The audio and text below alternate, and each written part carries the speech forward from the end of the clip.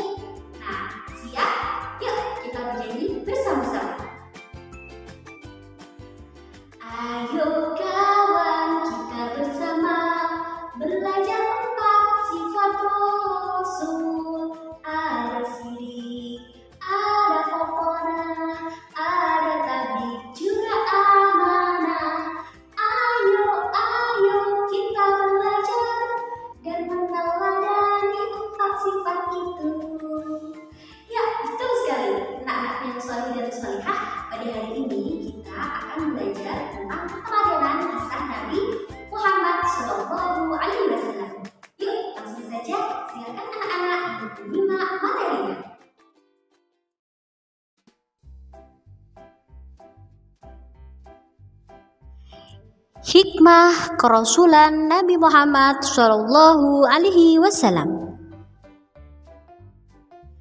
Ketika Nabi Muhammad Shallallahu Alaihi Wasallam menjelang usia 40 tahun, Nabi Muhammad sering berdiam diri di Gua Hira, yang mana Gua Hira berada di Jabal Nur. Beliau biasanya pergi ke sana hanya dengan berbekal beberapa roti. Nabi Muhammad Shallallahu Alaihi Wasallam suka untuk berdiam diri di Gua Hira karena beliau memikirkan tentang alam semesta ciptaan Allah Subhanahu wa taala yang mana pada saat itu di kota Mekah sering terjadi kerusuhan dan pertentangan. Jadi Nabi Muhammad wasallam kerap kali mencari ketenangan di Gua Hira. Nah, yuk kita simak lagi materinya. Pada saat Nabi Muhammad Wasallam sedang berdiam diri di Gua Hira, tiba-tiba muncullah malaikat Jibril dalam wujud aslinya. Malaikat Jibril langsung memeluk Nabi Muhammad seraya berucap, "Iqra, bacalah." Kepada Nabi Muhammad Wasallam yang mana kala itu tidak bisa membaca. Kemudian Nabi Muhammad Wasallam menjawab, aku tidak bisa membaca. Kemudian Jibril mengulanginya sampai tiga kali sambil mempererat pelukannya kepada Nabi sampai Nabi Muhammad Wasallam tersengal-sengal. Lalu Jibril melanjutkan bacaannya. Nabi Muhammad Shallallahu Alaihi Wasallam membaca surah Al-Alaq berkali-kali dengan hati yang bergetar. Sepulang dari Gua Hira, beliau minta diselimuti oleh istrinya, yaitu Hadijah. Setelah Nabi Muhammad Shallallahu Alaihi Wasallam merasa tenang, Nabi Muhammad barulah menceritakan kejadian di Gua Hira yaitu kejadian di mana diturunkannya Quran surah Al-Alaq ayat 1 sampai 5.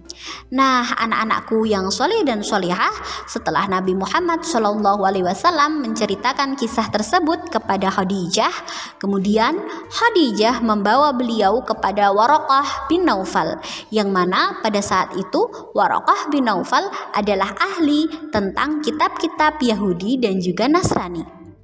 Warokoh mengatakan bahwa beliau atau Nabi Muhammad Shallallahu Alaihi Wasallam adalah orang yang dipilih oleh Tuhan untuk menjadi nabi.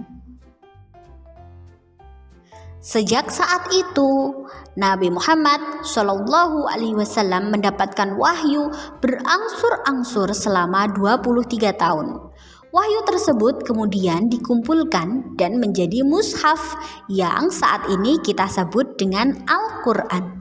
Dan Al-Quran tersebut menjadi pedoman bagi seluruh umat Islam. Anak-anakku yang solih dan solihah, Nabi Muhammad merupakan nabi dan rasul terakhir ya kak. Tidak ada nabi setelah Nabi Muhammad Shallallahu Alaihi Wasallam, sebagaimana diterangkan di dalam Al-Quran. Nabi Muhammad Shallallahu Alaihi Wasallam adalah suri tauladan kita, uswatun hasanah. Anak-anakku yang solih dan solihah, Nabi Muhammad itu memiliki kepribadian yang sangat baik. Bahkan sebelum beliau diangkat sebagai Nabi dan Rasul pun, Nabi Muhammad Shallallahu Alaihi Wasallam sudah memiliki kepribadian yang sangat-sangat baik. Beliau dikenal dengan orang yang jujur, dan dapat dipercaya, sehingga diberikan gelar yaitu Al-Amin.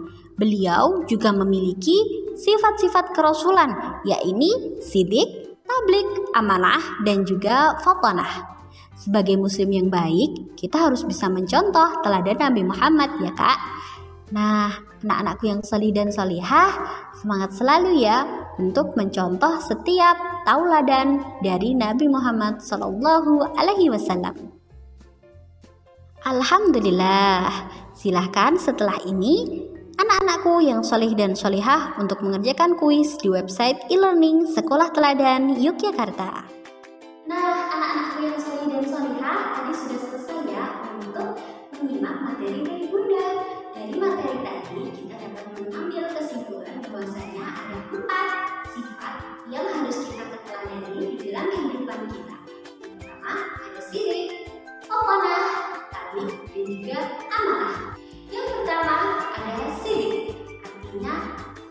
Benar, jujur, senantiasa berkata yang hak, ulil hakko, walau kana murad, katakanlah yang betul, walaupun terkadang yang betul sakit. Kemudian yang kedua, yaitu amanah. Jika diberikan tanggung jawab, harus mengemban tanggung jawab itu sebaik mungkin. Kemudian yang ketiga